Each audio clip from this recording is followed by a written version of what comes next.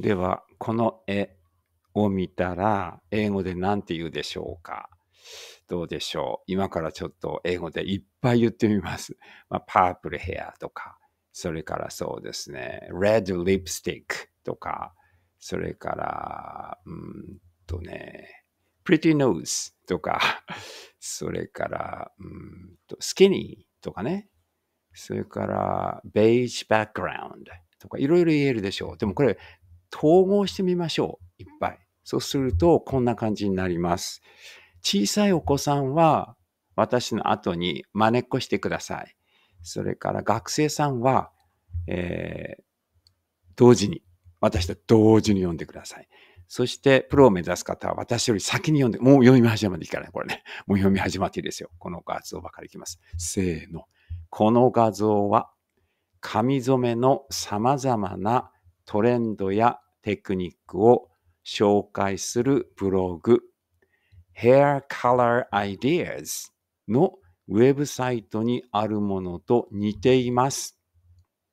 このイメージは独特のファッション選択と音楽で知られる有名なシンガーソングライター、ビリー・アイリッシュのスタイルにも似ています。このイメージは彼女はまた彼女のファンからこのイメージは彼女ファンから インスピレーションを得たものである可能性があります。で、このイメージ。彼女。このイメージは彼女、まだ彼女の。あ、そうか。そうだね。日本語はわかんなかった。じゃあ、英語いきましょうね。